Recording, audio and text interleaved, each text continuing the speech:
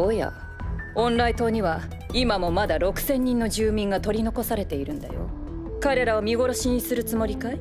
何？魔力が枯渇してきていてこのままでは島民ごと消滅してしまうんだよ。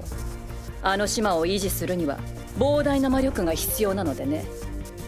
例えば吸血鬼の神祖に匹敵するような。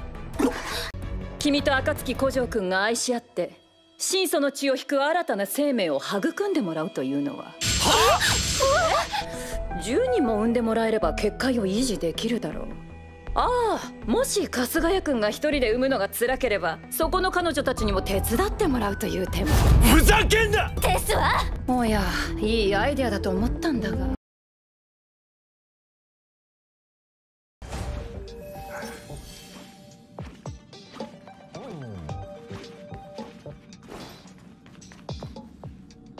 Apologies. I've been busy lately, so I had to put off the express tour for a while.